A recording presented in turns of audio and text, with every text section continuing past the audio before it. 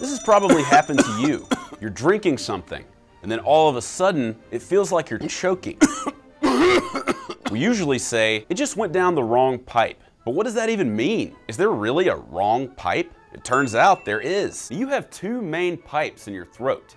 The trachea, which is used to breathe, and the esophagus, which is used to swallow food and drink. When something goes down your trachea instead of your esophagus, it's called aspiration. You immediately start coughing, which helps anything in the trachea move to the esophagus.